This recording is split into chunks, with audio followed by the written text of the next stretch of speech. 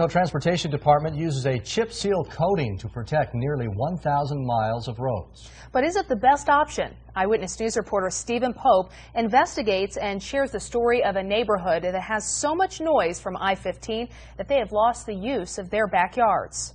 Well, ITD's action uh, stole our stole our property, stole the use of our backyards and our property.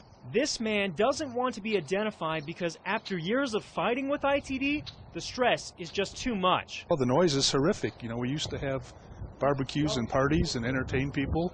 Now we can't even uh, open windows at nighttime in our house.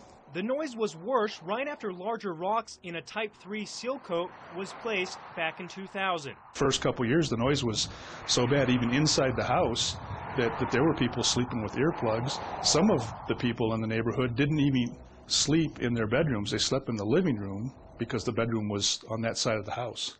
Noise that penetrates a half mile away over this fence and into this backyard. I-15 will be receiving a new seal coat this summer, and the noise might return to the Burwood neighborhood. Taking action for you, I'm Steven Pope, Channel 3 Eyewitness News.